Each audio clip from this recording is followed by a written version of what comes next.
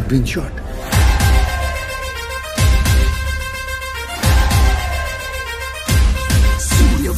हमारी इंटेलिजेंस के हिसाब से तुम्हारी तरह 40 लोग और हैं जो लश्कर के स्लीपर सेल बनकर हिंदुस्तान में सालों से रह रहे हैं। अभी उनका वक्त आया नहीं।